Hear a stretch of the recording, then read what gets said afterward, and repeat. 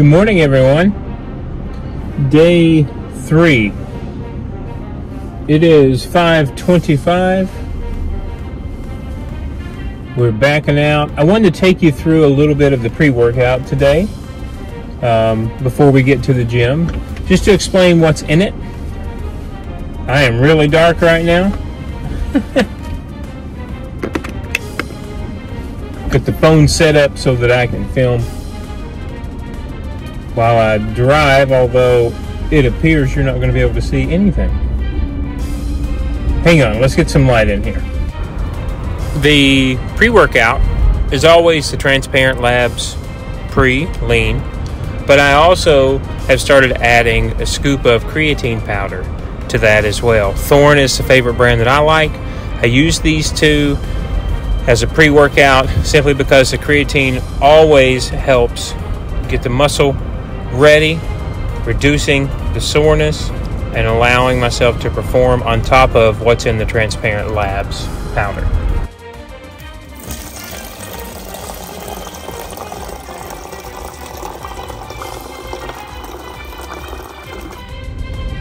The gym is crowded today. Let's talk about what we're going to do. I hope there's enough light in here to see. Um, so I'm going to drink the pre-workout. We just talked about that while uh, I talked to you for a second. Um, today, day three, we're doing that medium long distance run. I'm thinking about an hour and a half. We'll see how we feel.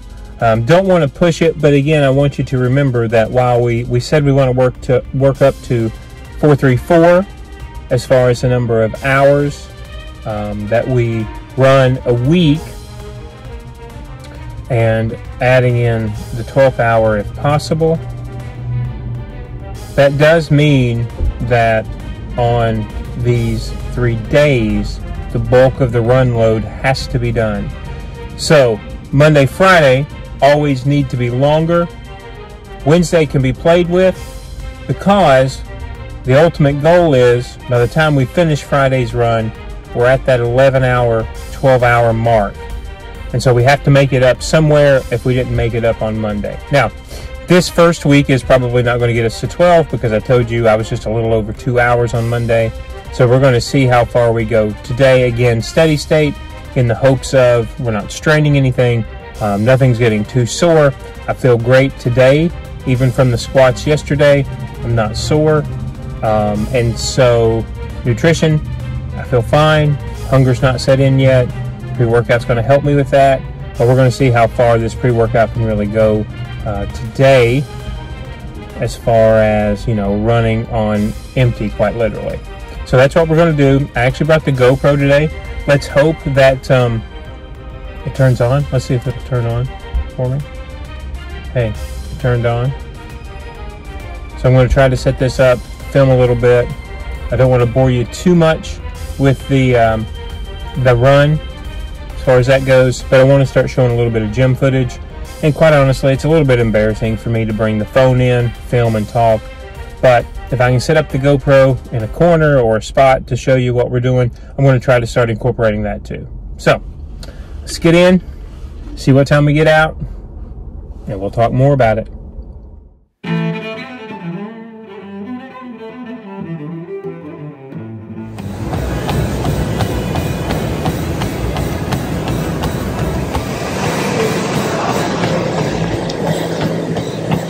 Stopped again.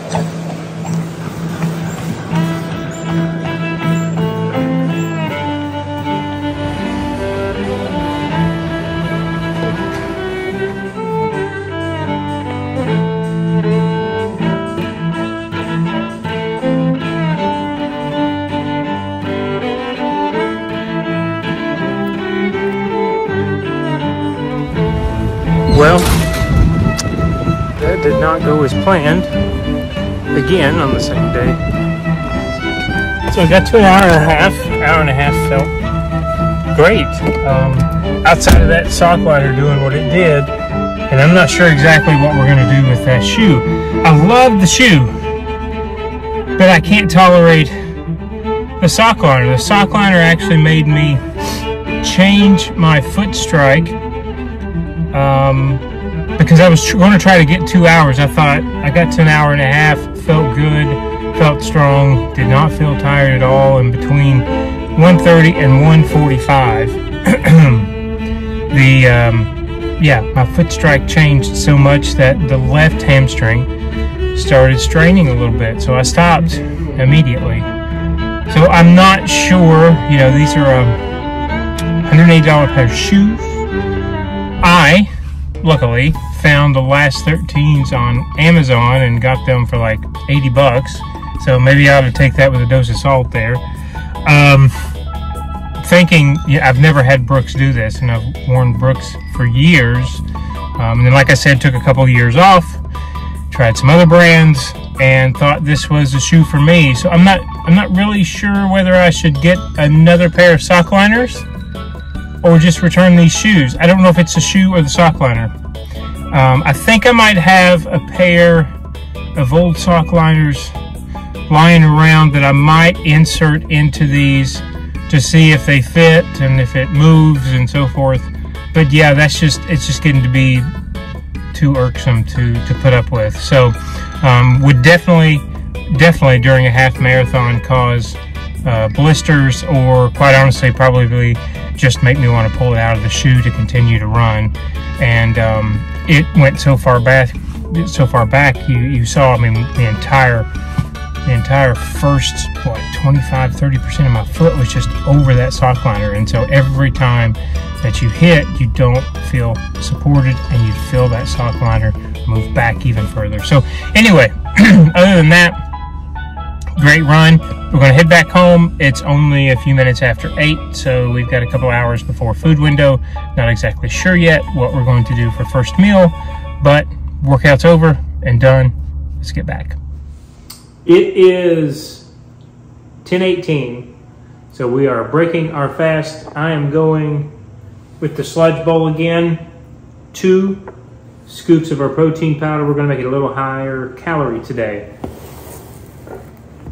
We're gonna add one scoop of our bulletproof collagen, because again, our hamstrings are a little bit tight.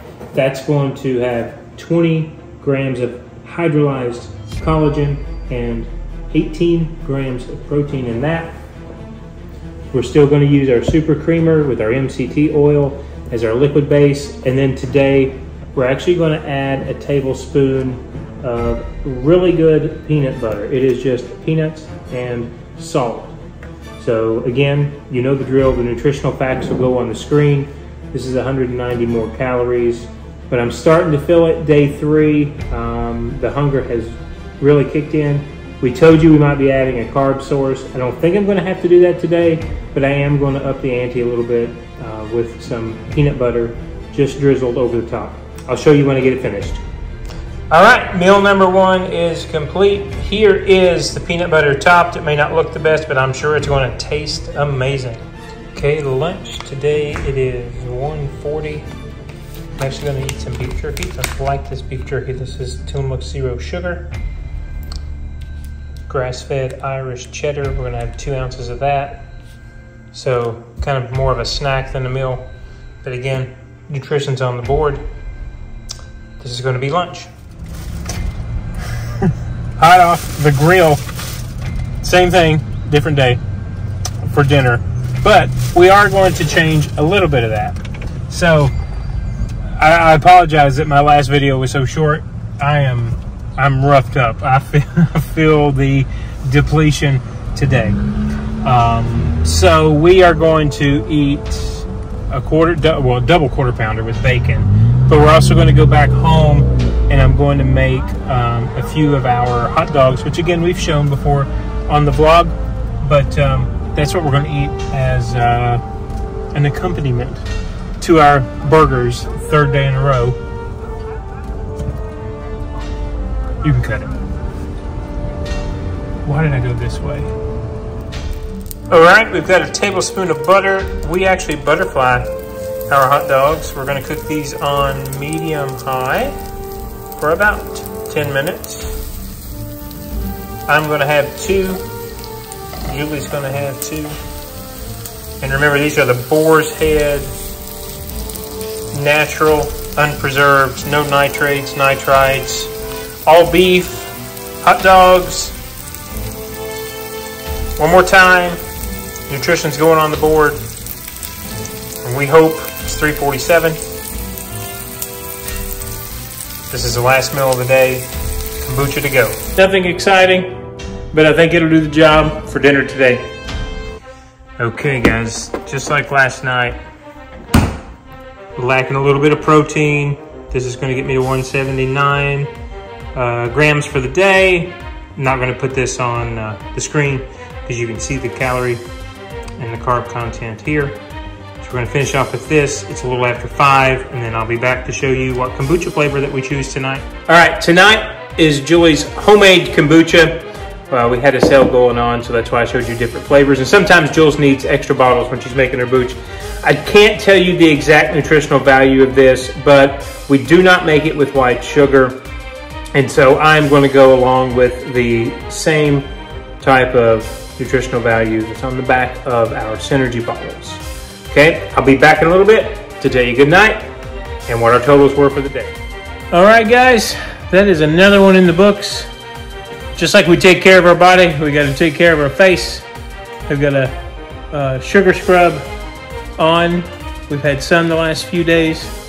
So I am so hungry. I can't even begin to explain how hungry I am. Uh, but I think we thought that was going to happen uh, by day three. So um, also, I will probably be turning in early tonight. We are traveling tomorrow, and we have a 6:15 flight time. 6:15 flight time. So that means Michael is going to have to get up sometime before four o'clock, more like three or 3:15. Um, I'm still going to try to vlog it and uh, see if we get up. That'll be the first thing if you see the video tomorrow. But um, anyway, that was it calories, everything is on the uh, the screen. Tomorrow's going to be another, we hope, I hope another lift day. The main thing I want to do is deadlift. And then I'll probably show you a little bit of our travels, see what snacks that we get to, to kind of, you know, hold up our nutrition for tomorrow. Have a good night, guys. Bright and early in the morning. I'll see you.